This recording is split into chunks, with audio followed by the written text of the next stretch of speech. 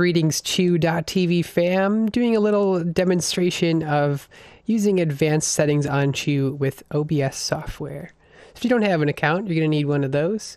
You can set up a new show by clicking your name and new show from the drop down menu. Pretty simple. From here, you'll be given some simple steps to follow. First, you want to install the software of your choice. In this case, it should be Open Broadcast software. Once you have it in the proper location, open the program and click Settings. Here we can make a few things easier for you in the beginning. By setting up individual profiles, you can save settings to different profiles and switch between them. For example, I stream on my channel, I stream on Bassport.fm, and I stream on the Chew Residents channel. In the encoding, you'll find your video and audio encoding. Your max bitrate should be set to around 1500, and I use the MP3 codec. There is an optional AAC, but MP3, lower data, it saves your upload speed, better connection to Chew, all the good stuff. You can also set your bit rate higher than 192.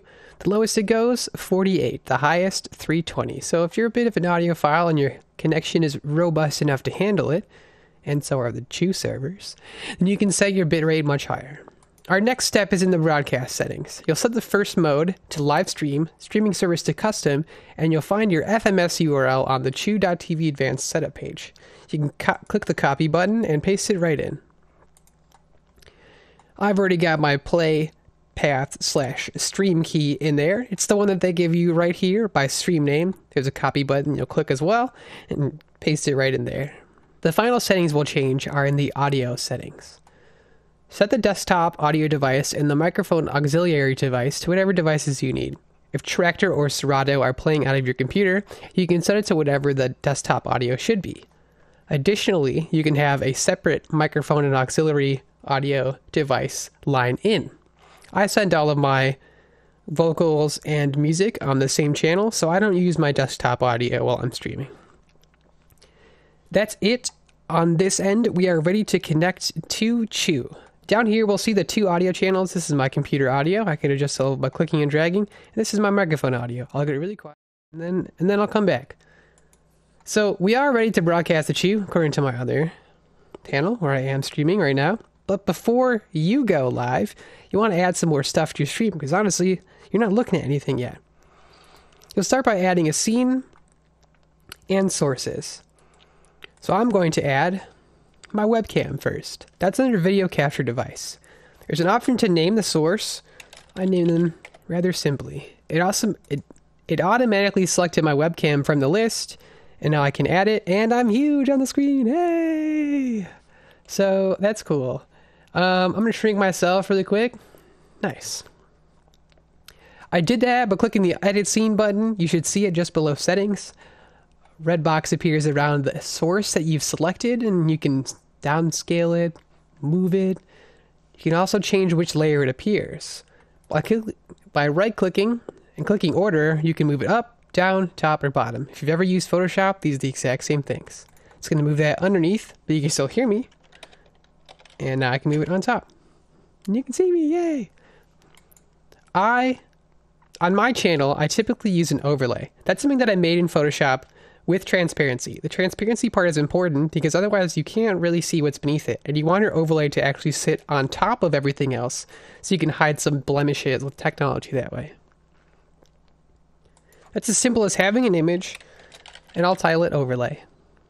Click browse, find your image. Let's see, I use my personal one since this is my personal channel.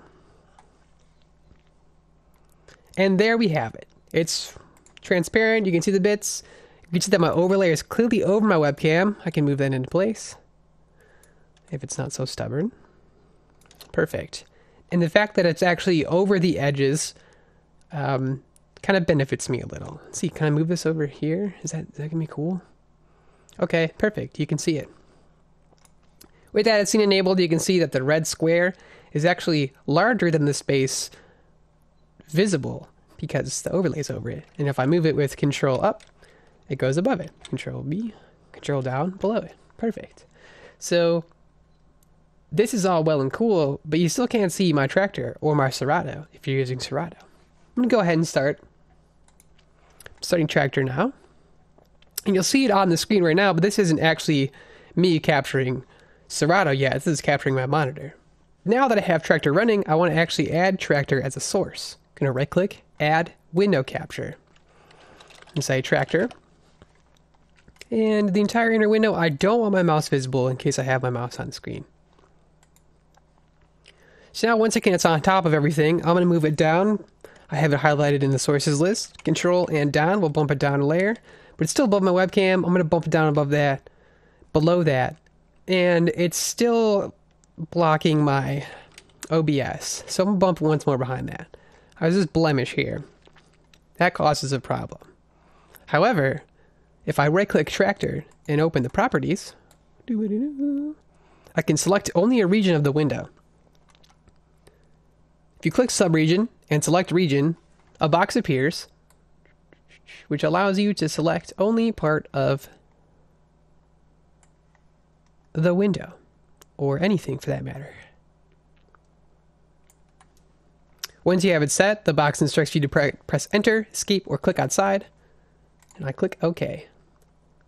So now you see that I've only got this slice if you look at the red box. Perfect. That's pretty much, that's exactly where it should be. You can still see my monitor above it. So I'm going to bump that below my Traktor. And now you can still see my OBS cutting this nice little square right here. And my Traktor not in the way behind it.